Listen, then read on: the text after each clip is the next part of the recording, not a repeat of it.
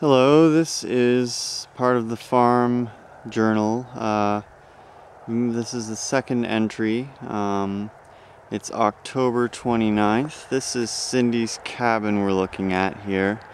It was brought in, it's put up on beams right now.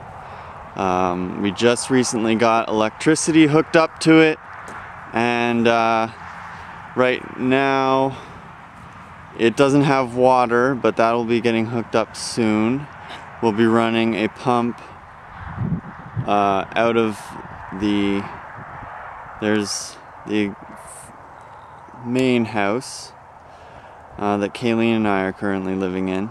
We'll be running a pump from there and it's been piped. It's going to be piped from here.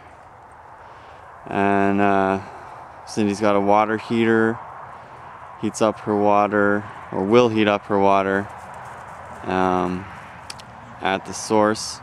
Right here is the pig house, and actually, there you can see, I think that's Gloria, a new addition to our farm.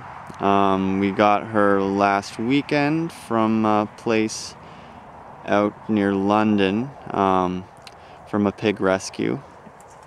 Uh, she's a Vietnamese potbelly. And there's uh, Smiley right on cue. There's Smiley. Oh, a bit of an extreme close-up. Smiley and Gloria are two Vietnamese potbelly pigs. They're uh, they're going to be helping us out in the garden, doing some weeding. We'll set up like electrified fence uh, or chicken wire fence areas for them, and they'll till up the soil with their noses, dig up any roots that are in there. Gloria is really good at that. Smiley seems to be a little more picky as to what he'll eat. Um, and uh, yeah, so they'll clear ground for us, and at the same time, they'll spread manure and uh, urine all around to enrich the soil and clear ground for garden beds. I'm kind of mumbling a lot, but that's okay.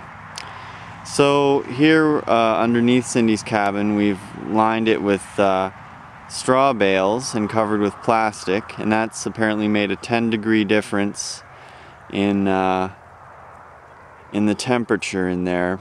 Um, we didn't get heat and electricity up until a few days ago into the cabin, so she was just running off a small space heater. Uh, we ran electrical cords from the house all the way into her cabin, but now we don't need to worry about that. She's fully hooked up.